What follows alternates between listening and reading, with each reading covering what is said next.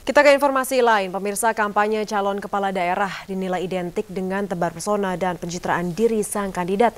Namun pencitraan tersebut dianggap tidak murni karena karakter tulen sang calon kerap tertutupi.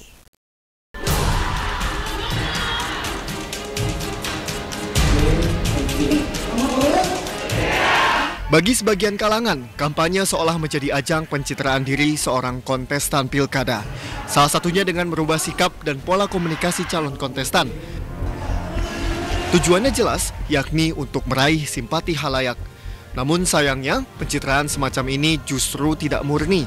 Dan pada satu titik seolah membohongi halayak dari karakter asli si calon kontestan sangat tergantung kepada motif-motif atau agenda-agenda yang diinginkan. Boleh saja pola-pola komunikasi yang dilancarkan oleh seseorang tertentu berpola A bisa jadi berubah menjadi berpola Z.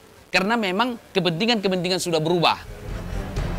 Apa yang dimaksud Emrus merujuk pada sikap yang tengah ditampilkan oleh cagup petahana Basuki Cahayapurnama di masa kampanye Pilkada DKI Jakarta.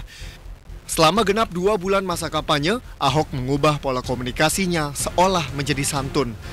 Publik tentu tidak akan lupa pada apa yang ditampilkan oleh Ahok sebelumnya.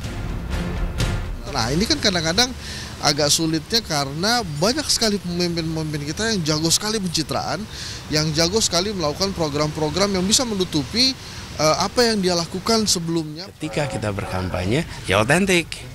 Jangan ketika periode kampanye pemilih nanti bingung ini biasanya nggak begini jadi berubah nih yang mana yang asli Pencitraan adalah hal yang lumrah pada ajang kampanye pilkada saat ini. Namun pencitraan tidak semata obrol janji, melainkan bagaimana kemudian menampilkan keselarasan sikap dan perbuatan seorang kandidat pemimpin yang kelak membawa nasib rakyat selama periode jabatan yang dipimpinnya.